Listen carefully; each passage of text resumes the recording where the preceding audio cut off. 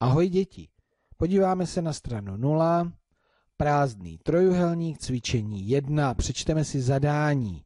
Přečti a napiš větší, menší rovná se, utvoř otázku a odpověď. Jdeme číst. Emma má tři listy, Matýsek má tři listy.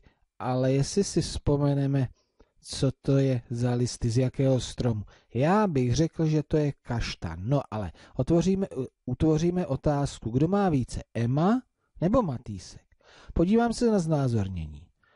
Tři kaštanové listy, tři kaštanové listy, no tak to je stejně. To se rovná.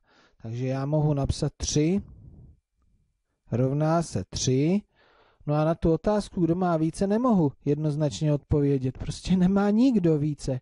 Emma i Matýsek mají stejně. Jdeme číst dál. Emma láme nula košťat. V podstatě vlastně neláme žádné koště. Matýsek láme jedno koště. Podívám se na znázornění. Tady není žádné koště, takže nula, není tam nic. Jedno koště, to je jasné.